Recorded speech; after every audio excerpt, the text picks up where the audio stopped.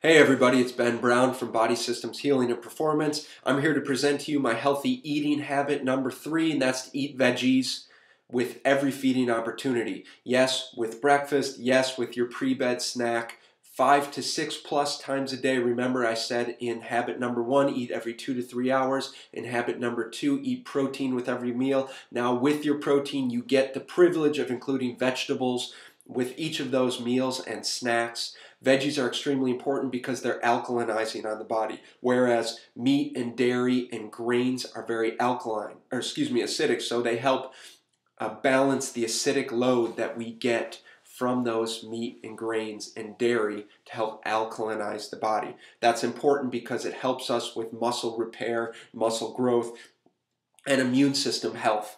Now, additional to being alkalinizing, they're very rich in chemicals like nutrients, minerals, and, and phytonutrients, which which most Americans are actually very deficient in. So that's the necessary component of eating vegetables with every feeding opportunity. Now, you got to do it. It doesn't matter how you get them in. Juice them, get a Greens Plus supplement, steam them, bake them, do whatever you have to do, but figure out what works best for you and get those veggies in at every meal and snack. Thanks so much. Again, this is Ben Brown from Body Systems Healing and Performance. Have a great day and good luck.